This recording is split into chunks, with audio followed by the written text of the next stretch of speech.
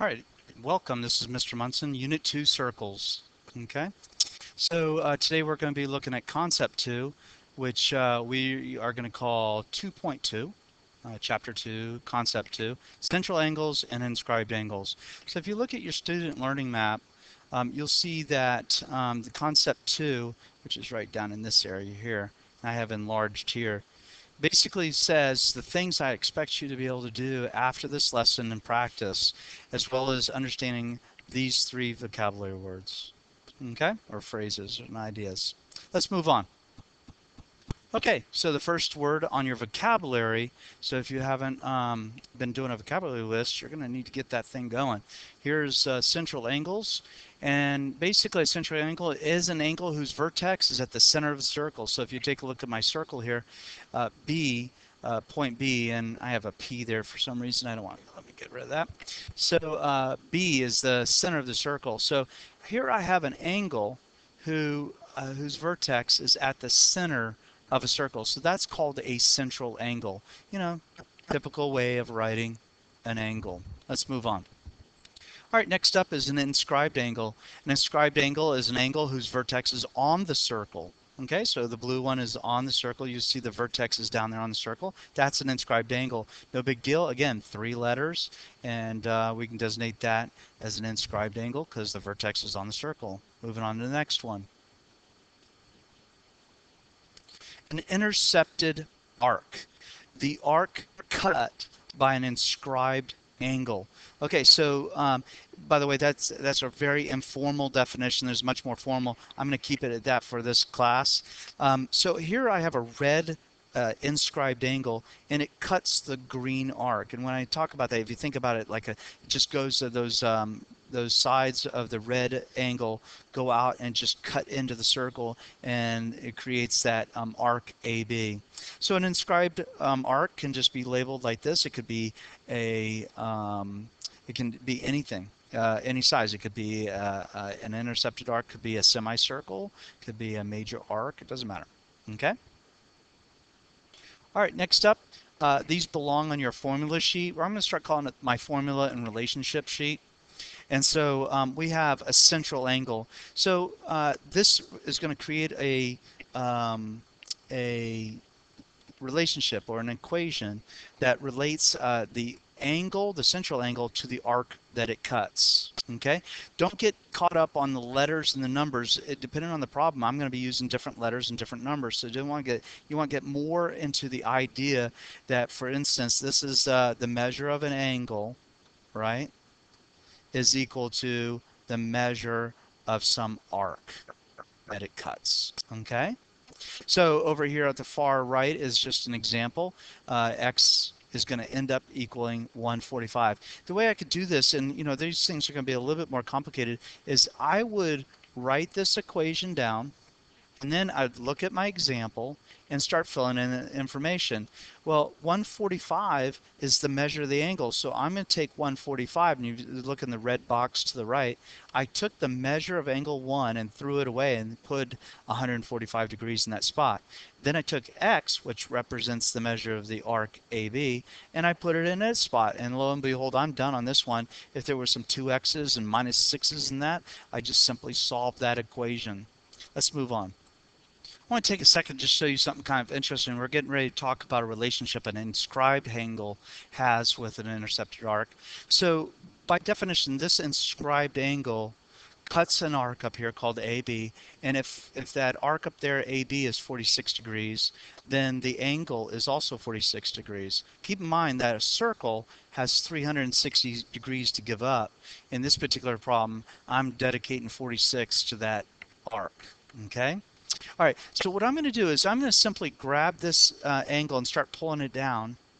And you'll see that, well, if I kept this same angle of 46 degrees, um, it won't create, uh, it won't go up and match with that A and B. Even if I extend them, it's just not going to do it. So watch what I have to do to get it to um, turn into uh, an angle an inscribed angle, that means the vertex is um, on the circle. See what I have to do to the sides in order to make them go back up and meet that angle or those two points A and B.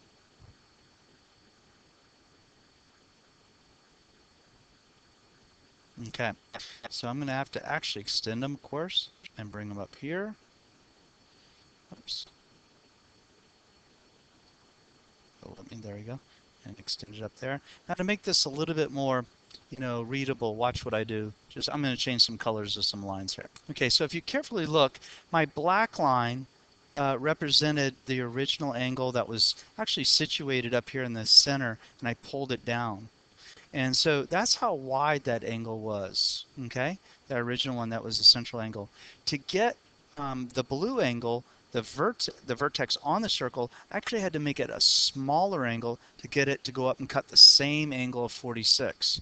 So definitely this angle right here, this um, inscribed angle, which um, has to be an angle measure less than 46. I hope that you see that. Let's go back to our formula and our relation sheet so you can see how that's going to play out. Okay, so what we find out is an inscribed angle is half of, um, I have a, something wrong here, let me fix it. There we go, much better. So the measure of ABC, the angle ABC, is equal to half of the arc it cuts, AC. Okay, sometimes it might be a major arc. We'd have to have three letters there. Again, I don't want you to focus in on the letters I'm using. I want you to look at the concepts. Basically, an inscribed angle is equal to one half of the arc it cuts. Okay, all right, so that's the basic idea. And then I have an example over here. So I have 2x is the inscribed angle amount. It's equal to, and I'm just taking the pieces and plugging it right into the formula, equal to 1 half, and then the arc is 4x plus 10, so I put it in parentheses, and I'm just going to solve that. You know, I could take, uh, multiply both sides by 2, or I could send that through, whatever, okay? That's algebra. Okay, so what we find out here is when we're dealing with a tangent and a chord, then the, um, the angle, this, uh, this uh, big blob here, this green, uh, this red now, this angle is equal to half of the arc it cuts. So I want you to know, this is what I know, is that in this situation when I have a tangent and a chord, the, the vertex of the angle that we're talking about, its vertex is on the circle. So if you think about it, these two ideas, the one above, the inscribed angle, and the tangent on the chord, are really the same idea. So you can basically remember one equation. If the vertex is on the circle, then the angle that the angle is one half of the arc it cuts. Let's take a look at the example to the right. If I was looking for angle 1, sorry I forgot the 135, then I would just simply take the measure of angle 1 and set it equal to 1 half 135 degrees. Right? It's that simple. So, you know, sometimes these things get a little bit more complicated. They have like 2x minus 6's and stuff, but it's the same form. You just take the pieces, plug it in the formula, solve it like an algebraic equation. Let's move on. Okay, so here's example one dealing with a central angle. I have a circle, I have a central angle, APB, and it's 4x. And then the uh, arc of 92 uh, AB is uh, nine, the arc measure, the measure of arc AB is 92. And so a good question here would be find X. All right, so put me on pause, see if you can set up an equation and solve that. All right, there we have it. So I set up the equation 4x equals 92. The angle is equal to the arc. And so I just simply solve for the x, okay? And so these could be a little bit more complicated with a little bit more complicated expressions like, you know, 2x minus 3 and stuff like that, okay? So there's my answer. Hey, what about this question right here? Find the measure of APB, okay? So that's that angle right there. Well, that's not so bad. I just hope you know that I, all I got to do is plug it back in to the problem. So I do, you know, 4 times 23 and I get what 190 what 92 degrees? Well that's no surprise because the central angle does match the arc. Well that's a good way of checking to see if you've done your math correctly right? Plug it back into the angle see if it matches up. Okay how about this one? ACB now I see three letters. That's telling me it's a major arc. So we're asking for this back side here. How much is this arc here? So put me on pause and see if you can figure this one out All right, so I got uh, 268 degrees. You just got to keep in mind a circle has out on the outer rim there, as well as the inside angles, has 360 degrees to give up. 92 of it is between A and B, and I'm asking you how much is left over on the other side. So 360 minus 92 equals 268. Let's go on the next one. All right, here's one. Uh, we're dealing with uh, example number two, an inscribed angle. Okay, no big deal. I'm asking to find angle 1. Let's call this angle 1 here. I'm sorry. Let's find that angle. So go ahead and put me on pause. See if you can write the equation first without any information in it, and uh, and then you put the information into it. Okay.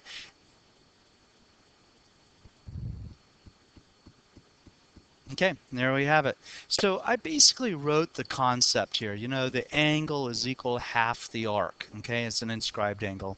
I'm going to put that in there, inscribed. You know, just kind of put some notes in there at the beginning. Inscribed angle is half the arc. And so I'm looking for the inscribed angle, so I'm not going to put anything in that place. I'm going to replace the inscribed angle information with the measure of angle 1. So listen, if you're um, if you're really wanting to get all your points, you're starting to note how I'm writing things. So I'm writing the measure of angle one and things like that. If you're doing it some other way and then I get your work on a test or quiz and it's just not at all close to what we're dealing with, um, you're choosing a different path. And I want you to be on the path with me so that you're getting as many points as possible if that's what you're looking for. Okay, simple problem. Let's move on to the next one. Okay, let's take a look at this one. Now, I got to tell you, this is a really a simple problem, but I don't say that it's easy. Okay, um, what ends up happening is this problem, when you finally see how it's done, if you don't figure it out on your own, uh, you'll see that it totally makes sense. It's the thing that made it difficult is there's so many lines going on. So the art of geometry is to get your eyes to start deleting what you don't need. Okay, so they're asking us to find angle one. What would be really nice for us is to know what that arc is. So I'm, that's my little hint. Put me on pause and see if you can figure out how to do this.